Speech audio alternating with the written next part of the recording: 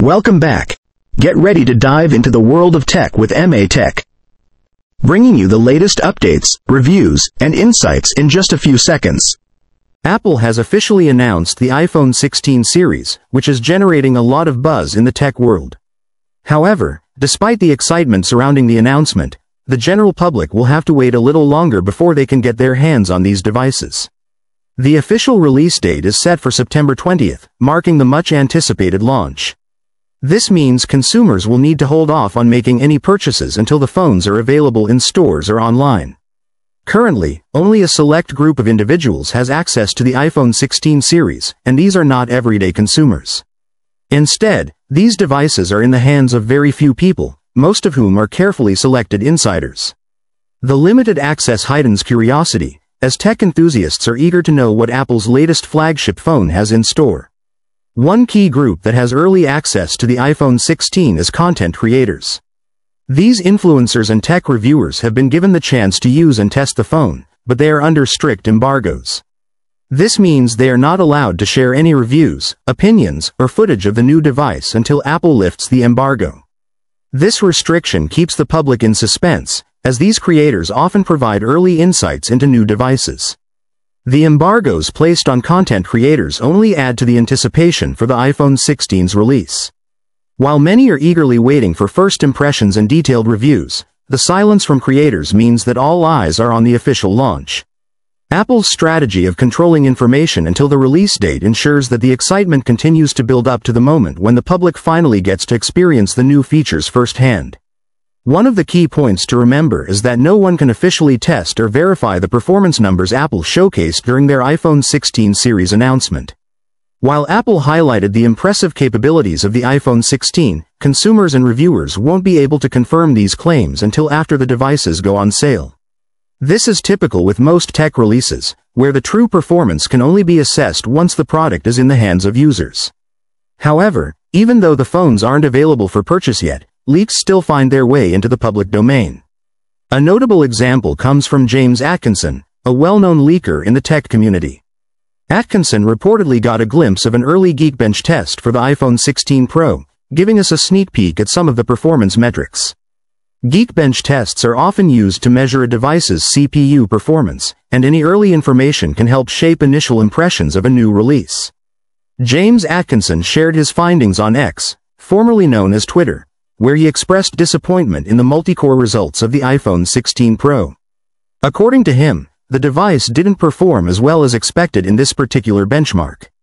This has sparked conversations among tech enthusiasts and potential buyers, who now question whether the iPhone 16 Pro will live up to the high expectations set by Apple.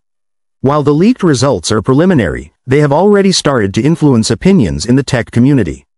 Although the early Geekbench results shared by James Atkinson are a talking point, it's important to remember that real-world performance can differ from benchmarks. Multi-core performance is just one aspect of a phone's overall capability, and Apple's software optimization often plays a big role in the user experience. The true test of the iPhone 16 Pro's performance will come after the phone is released, allowing users to judge its capabilities based on everyday tasks and real-world scenarios. Currently, the iPhone 15 Pro and 15 Pro Max have rather modest charging capabilities compared to the competition. With a peak charging input of 27W when plugged in and a maximum of 15W through MagSafe wireless charging, Apple has stuck to slower charging speeds, even as other companies have pushed the envelope with faster solutions. This has led to some frustration among Apple users who expect faster charging, especially when many Android devices now offer charging speeds that surpass 100W. In the broader smartphone industry, companies are continually setting new benchmarks with charging technologies. Several Android manufacturers have introduced devices capable of charging at speeds well above 100W, allowing phones to charge from 0% to full in under half an hour. This innovation has set a new standard, putting pressure on Apple to catch up. While Apple focuses on other areas like performance, build quality, and ecosystem integration, they've seemingly lagged behind in terms of charging speeds, leading many to question why they haven't prioritized this feature. Apple has always taken a cautious approach to battery technology, likely focusing on long-term battery health and longevity. While this strategy has its benefits, The downside is that Apple's devices charge significantly slower compared to other flagship phones. The iPhone 15 Pro's 27W charging feels outdated when compared to competitors offering solutions that deliver over 100W, allowing for faster and more efficient charging experiences. As Apple prepares to launch the iPhone 16 Pro and 16 Pro Max, the hope is that they will finally address this disparity. Rumors suggest that faster charging rates may be on the way, which could bring Apple back into the conversation when it comes to cutting-edge battery technology. If Apple can match or even come close to the industry's top charging speeds, it would not only meet user expectations but also help Apple stay competitive in an area where they've been lacking.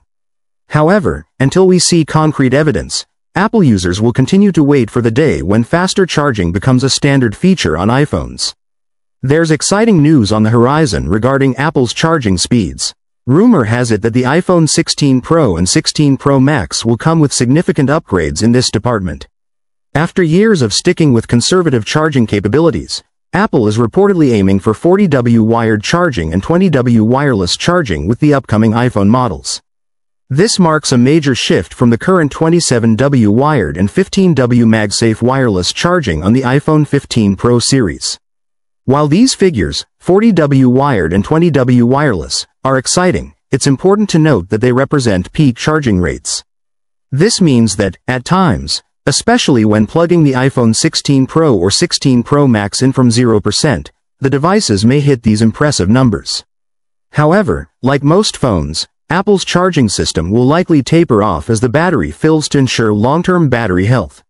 So, while users may see 40W or 20W for short bursts, sustained charging speeds will likely be lower as the battery nears full capacity. The increase in wireless charging speed to 20W would be a noteworthy improvement for Apple's ecosystem, especially for those who rely on MagSafe or other wireless charging solutions. This would reduce the time users need to keep their phones on wireless chargers, offering more convenience for busy users who need quick top-ups throughout the day. While wireless charging is still not as fast as wired charging, this bump would bring Apple closer to meeting the demands of modern smartphone users. These rumored charging upgrades represent Apple's response to the broader industry trend of pushing faster and more efficient charging solutions. With Android competitors boasting 100W plus charging speeds, Apple seems to be finally addressing the gap in this key area. If these rumors pan out, the iPhone 16 Pro and 16 Pro Max would offer a much-needed enhancement, bringing faster, more competitive charging times to Apple users while still likely maintaining the company's focus on battery health and longevity. For everyday users, these faster charging rates could make a huge difference in how they use their iPhones. The ability to hit 40W wired charging at peak times means significantly reduced charging time, allowing for quick charges before leaving the house or during busy workdays. Similarly, the 20W wireless charging could make MagSafe accessories even more useful, letting users get a substantial charge in a shorter amount of time without needing to plug in a cable. These enhancements could mark a new era of convenience for iPhone users. Thanks for watching. Don't forget to subscribe for more tech content. See you next time on MA Tech.